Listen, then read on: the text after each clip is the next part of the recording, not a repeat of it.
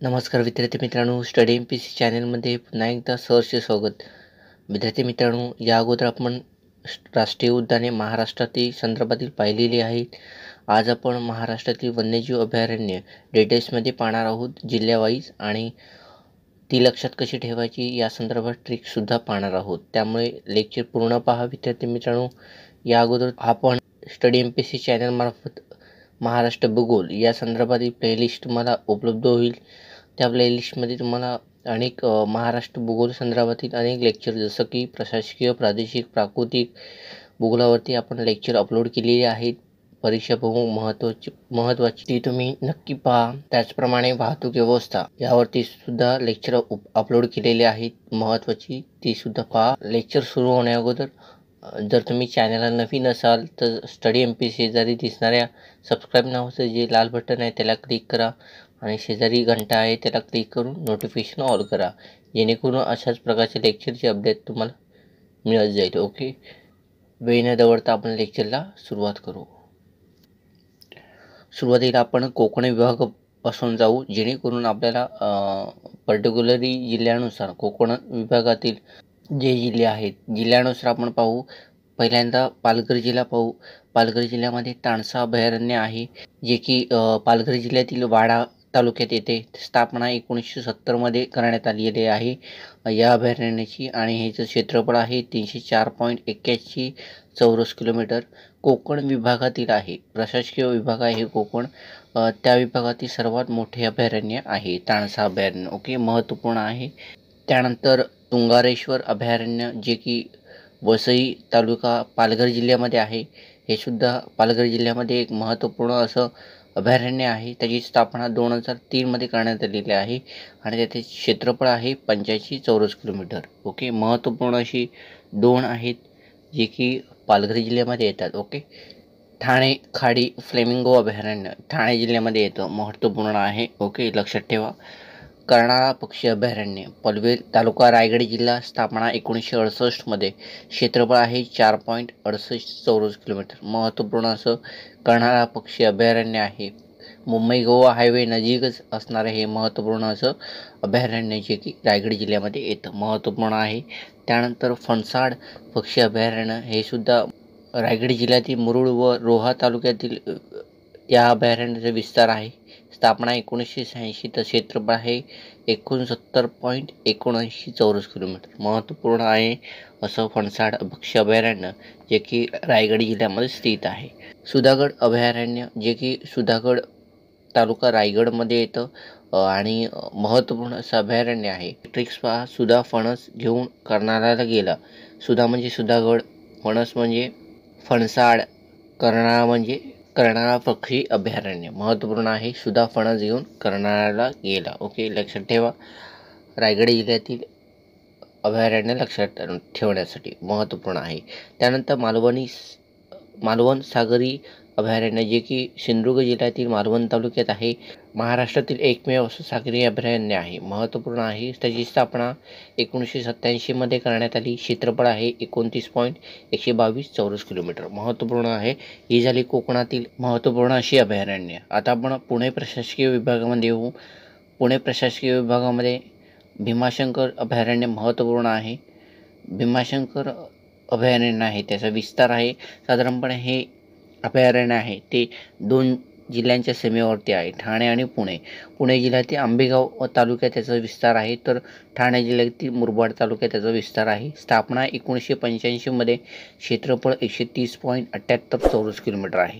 याचं वैशिष्ट्य एक आहे की महाराष्ट्र राज्याचं राज्यप्राणी आहे शेकरू आणि राज्यपक्षी हरियाल हे मुख्यतः भीमाशंकर अभयारण्यामध्ये यांचा अधिवास महत्त्वपूर्ण आहे. ओके? लक्षात ठेवा. महाराष्ट्र राज्याचा राज्यप्राणी आणि महाराष्ट्र राज्याचा राज्यपक्षी अनुक्रमे शेकरू आणि हरियाल या दोघांचा समावेश या दोघांचा आढळ हा भीमाशंकर अभयारण्यामध्ये आहे. ओके? महत्त्वपूर्ण आहे. त्यानंतर मयुरेश्वर सुपे सुपे अभयारण्य. पुणे जिल्ह्यातील बारामती तालुक्यात आहे. महत्त्वपूर्ण असं अभयारण्य आहे. पुणे जिल्ह्यातील स्थापना एकोणीसशे सत्त्याण्णवमध्ये क्षेत्रफळ पाच पॉईंट पंधरा चौरस किलोमीटर. आणि वैशिष्ट्य आहे हे अभयारण्य आहे जे की मोरांसाठी खूप प्रसिद्ध आहे. मयुरेश्वर सुभे अभयारण्य पुणे जिल्ह्यात ओके तामणी अभयारण्य तामणी तालुका आहे त्यामध्ये येतो पुणे जिल्ह्यामध्ये. मयूर तामण घेऊन भीमाशंकरला गेला. म्हणजे पुणे जिल्ह्यातील अभयारण्य आहेत ती लक्षात ठेवण्यासाठी ट्रिक्स आहे. मयूर म्हणजे मयुरेश्वर तामण म्हणजे तामणी भीमाशंकर म्हणजे भीमाशंकर अभयारण्य. महत्त्वपूर्ण आहे असे ट्रिक्स मयूर तामण घेऊन भीमाशंकरला गेला. ओके कोयना अभयारण्य पाटण तालुका सातारा स्थापना एकोणीसशे पंच्याऐंशीमध्ये क्षेत्रफळ आहे चारशे तेवीस पॉईंट पंचावन्न चौरस किलोमीटर पुणे विभागातील सर्वात मोठं अभयारण्य आहे. महत्त्वपूर्ण आहे असं अभयारण्य आहे जे की पुणे प्रशासकीय विभागामधलं आहे. ओके लक्षात ठेवा. त्यानंतर आहे सागरेश्वर अभयारण्य कडेगाव तालुका सांगली जिल्हा स्थापना एकोणीसशे पंच्याऐंशी क्षेत्रफळ आहे दहा पॉईंट सत्त्याऐंशी चौरस किलोमीटर. महाराष्ट्रातील पहिलं मानवनिर्मित अभयारण्य म्हणून सागरेश्वर अभयारण्य याला ओळखलं जातं. महत्त्वपूर्ण आहे प्रश्न बनू शकतो की महाराष्ट्रातील पहिलं मानवनिर्मित अभयारण्य कोणतं? तर सागरेश्वर अभयारण्य कडेगाव तालुका सांगली स्थापना एकोणीसशे पंच्याऐंशी क्षेत्रफळ दहा पॉईंट सत्त्याऐंशी चौरस किलोमीटर. ओके? त्यानंतर राधानगरी त्याला दाजीपूर अभयारण्य या नावाने सुद्धा ओळखलं जात असत. राधानगरी तालुका कोल्हापूर जिल्हा स्थापना एकोणीसशे अठ्ठावन्न महाराष्ट्रातील पहिलं अभयारण्य आहे. महत्त्वपूर्ण आहे. ज्याची स्थापना एकोणीसशे अठ्ठावन्न अठ्ठावन्नमध्ये करण्यात आली. क्षेत्रफळ तीनशे एक्कावन्न पॉईंट सोळा चौरस किलोमीटर. हे विशेषतः रानगाव्यांसाठी प्रसिद्ध आहे. महत्त्वपूर्ण असं अभयारण्य आहे जे की कोल्हापूर जिल्ह्यामधील राधानगरी तालुक्यात स्थित आहे. ओके? त्यानंतर नवीन माळढोक अभयारण्य सोलापूर जिल्ह्यामध्ये स्थित आहे. स्थापना एक दोन हजार बारामध्ये करण्यात आलेली आहे. ओके? हे झाली पुणे प्रशासकीय विभागातील आता नाशिक प्रशासकीय विभागामध्ये येऊया. नानज अभयारण्य. नानज अभयारण्य या नावाने सुद्धा हे ओळखलं जातं. हे अभयारण्य आहे जे की दोन जिल्ह्यांच्या सीमेवर स्थित आहे. अहमदनगर आणि सोलापूर. अहमदनगर जिल्ह्यातील कर्जत तालुक्यात याचा विस्तार आहे. तर सोलापूर जिल्ह्यातील करमाळा तालुक्यात स्थापना आहे एकोणीसशे एकोणऐंशी. क्षेत्रफळ बा बाराशे एकवीस चौरस किलोमीटर. नाशिक विभागातील सर्वात मोठं अभयारण्य आहे. तसेच महाराष्ट्रातील सर्वात मोठं अभयारण्य म्हणून महाडोक अभयारण्य महत्त्वपूर्ण आहे. लक्षात ठेवा महाराष्ट्रातील सर्वात मोठं अभयारण्य जे की नाशिक विभागामध्ये स्थित आहे. ओके? कोणतं? तर महाडोक अभयारण्य. ओके? रेहेकुरी अभयारण्य. कर्जत तालुका अहमदनगर जिल्हा स्थापना एकोणीसशे ऐंशीमध्ये क्षेत्रफळ आहे दोन पॉईंट सतरा चौरस किलोमीटर. काळविटांसाठी प्रसिद्ध आहे. काळवीट या प्राण्यासाठी हे प्रसिद्ध आहे. काळवीटला ब्लॅकबक असं म्हणतात इंग्रजीमध्ये. हे प्रसिद्ध म्हणजे ह्याला रेवकुरी काळवीट अभयारण्य या नावाने सुद्धा संबोधलं जातं. ओके महत्त्वपूर्ण आहे. अहमदनगर जिल्ह्यातील त्यानंतर कळसुबाई हरिश्चंद्रगड अभयारण्य अकोले तालुका अहमदनगर स्थापना एकोणीसशे शहाऐंशीमध्ये क्षेत्रफळ आहे तीनशे एकसष्ट पॉईंट एकाहत्तर चौरस किलोमीटर. ट्रिक्स आहे रेऊ व कळसू नगर सोलापूरला जाताना माळ घालतात. ओके? रेऊ म्हणजे रेऊकुरी कळसू म्हणजे कळसूबाई. ओके? माळ म्हणजे माढूक अभयारण्य. महत्त्वपूर्ण आहे.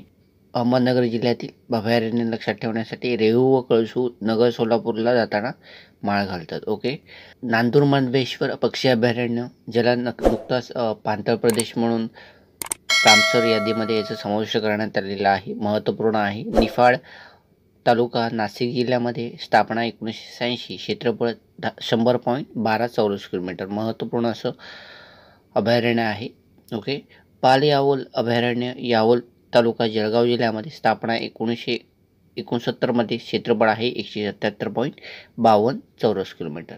हे जळगाव जिल्ह्यातील महत्त्वपूर्ण असं अभयारण्य आहे. अनेर धरण अभयारण्य शिरपूर तालुका धुळे जिल्ह्यामध्ये साधारणतः याचा विस्तार नंदुरबार आणि धुळे जिल्ह्यामध्ये आहे पण ब बहुतांश भाग हा धुळे धुळे जिल्ह्यामध्ये येतो. ओके स्थापना एकोणीसशे शहाऐंशीमध्ये क्षेत्रफळ आहे ब्याऐंशी पॉईंट चौऱ्याऐंशी चौरस किलोमीटर. गवताळा औट्र औट्रम घाट अभयारण्य. आता औरंगाबाद विभागामध्ये येऊया आपण. हे अभयारण्य आहे जे की दोन जिल्ह्यांच्या सीमेवर विस्तारलेले आहे परंतु बहुतांश भागा औरंगाबाद जिल्ह्यामध्ये आहे महत्त्वपूर्ण आहे. औरंगाबाद जिल्ह्यातील सोयगाव व कन्नड तालुका त्याचा विस्तार तर पाचोरा तालुक्यात जळगाव जिल्ह्यामध्ये थोडाफार विस्तार आहे. याची स्थापना आहे ती एकोणीसशे शहाऐंशीमध्ये क्षेत्रफळ दोनशे साठ पॉईंट एकशे चौरस किलोमीटर. साईकवाडी पक्षी अभयारण्य पैठण तालुका औरंगाबाद जिल्हा स्थापना आहे. एकोणीसशे शहाऐंशीमध्ये क्षेत्रफळ तीनशे एकेचाळीस पॉईंट झिरो पाच चौरस किलोमीटर आहे. औरंगाबाद विभागातील सर्वात मोठं अभयारण्य असं जायकवाडी पक्षी अभयारण्य आहे. त्याची ट्रिक्स पहा. औरंगाबाद जिल्ह्यातील अभयारण्य लक्षात जागा. ओके. जागा म्हणजे जायकवाडी गा म्हणजे गवताळा औट्रम घाट अभयारण्य. महत्त्वपूर्ण आहे. येडशी रामलिंग घाट अभयारण्य जे की उस्मानाबाद जिल्ह्यामध्ये स्थित आहे. महत्त्वपूर्ण असं अभयारण्य आहे. स्थापना एकोणीसशे सत्त्याण्णवमध्ये क्षेत्रफळ आहे बा बावीस पॉईंट अडतीस चौरस किलोमीटर. महत्त्वपूर्ण आहे. येडशी रामलिंग घाट अभयारण्य उस्मानाबाद ता तालुका आणि जिल्हासुद्धा उस्मानाबाद आणि स्थापना एकोणीसशे सत्त्याण्णवमध्ये क्षेत्रफळ बावीस पॉईंट अडतीस चौरस किलोमीटर. त्यानंतर नायगाव मयूर अभयारण्य जे की मोरांसाठी प्रसिद्ध असणारा महाराष्ट्रातील महत्त्वाचं अभयारण्य आहे. पाठोदात तालुका बीड जिल्हा स्थापना एकोणीसशे चौऱ्याण्णवमध्ये क्षेत्रफळ आहे एकोणतीस पॉईंट एकोणनव्वद चौरस किलोमीटर. मोरांसाठी प्रसिद्ध असणारं महत्त्वाचं नायगाव मयूर अभयारण्य. त्यानंतर अंबाबरवा अभयारण्य संग्रामपूर तालुका बुलढाणा. आता आपण अमरावती विभागातील अभयारण्य स्टार्ट केलेले आहेत. संग्रामपूर तालुका बुलढाणा जिल्ह्यात स्थापना एकोणीसशे सत्त्याण्णवमध्ये क्षेत्रफळ एकशे सत्तावीस पॉईंट अकरा चौरस किलोमीटर अंबाबरवा अभयारण्य बुलढाणा जिल्हा संग्रामपूर तालुका. ओके महत्त्वपूर्ण आहे बुलढाणा जिल्ह्यातील हे अभयारण्य. ज्ञानगंगा अभयारण्यसुद्धा बुलढाणा जिल्ह्यामधील खामगाव तालुक्यात येतं. एकोणीसशे सत्त्याण्णवमध्ये स्थापना करण्यात आली.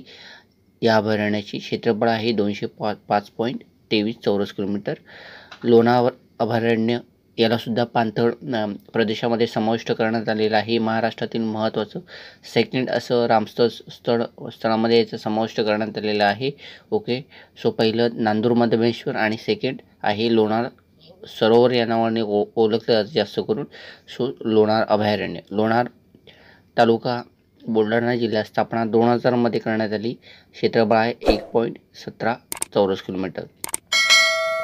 याची ट्रिक्स पहा. जे की बुलढाणा जिल्ह्यामध्ये जी काही अभयारण्य आहे त्याची ट्रिक्स पहा. लक्षात ठेवण्यासाठी अज्ञान आंब्याचे लोणचे खातो. अज्ञान म्हणजे ज्ञान ज्ञानगंगा आंबा म्हणजे आंबावरवा आणि लोणचं म्हणजे लो न लोणार. ओके? लक्षात ठेवा. अज्ञान आंब्याचे लोणचं खातो. ओके?